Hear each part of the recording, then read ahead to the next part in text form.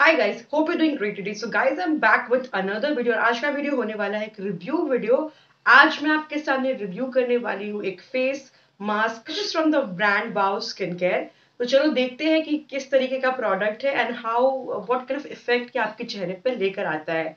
तो मैं आपको पहले लगा के दिखाऊँगी और साइड बाय साइड में आपको इसके बारे में बताती जाऊँगी। सो गाइज़ ये है वाओ का activated charcoal peel off mask इसको लगाने के पहले मैंने अपने फेस को क्लीन कर लिया है, साथ ही वार्म टॉवल से डैब कर लिया है फेस को ताकि पोर सारे खुल जाए। तभी ये बहुत अच्छे से काम करता है। अभी आपको इसे इवनली अपने फेस के ऊपर आपको लगा लेना है। हाँ ध्यान रखना है कि अपने आँखों को आप दूर रखें इससे जब ना मैंने पहली बार चारकोल का ये पील ऑफ़ मास्क ट्राई किया था कुछ दो तीन साल पहले तो कि दूसरी कंपनी का था बट लगाने का तरीका वगैरह सब कुछ सेम ही होता है। मुझे आइडिया नहीं था कितनी देर रखना है और मैंने इसे लगभग 20 से 25 मिनट रखा था क्योंकि वो कोई चाइनीज़ कंपनी थी और उस पर सारी कुछ चीज़ें लिखी थी, मुझे कुछ समझ नहीं आ रहा था। तो मैंने काफ़ी देर रख लिया।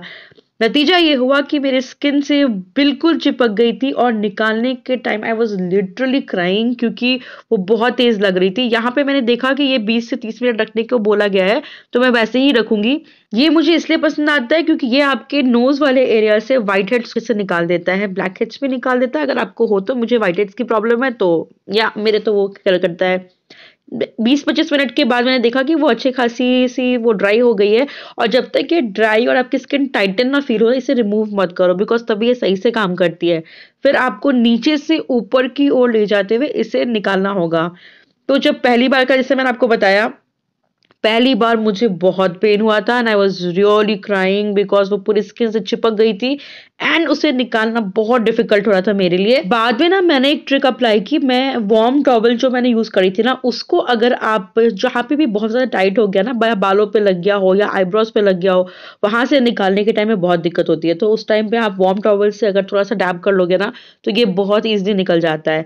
तो कभी आपके साथ भी ऐसी कोई प्रॉब्लम आए ना आप फंस जाओ और बहुत दर्द कर रहा है, क्योंकि बहुत करता है टाइट होने का बहुत लगती है स्किन को। तो आप उस समय ये ये मेरी ट्रिक आप ट्राई कर सकते हो। तो देखो कि अभी धीरे धीरे निकल रही है और नोज़ के पास से लाइक लिटरली वाइट हेड से अच्छे से निकाल देती है।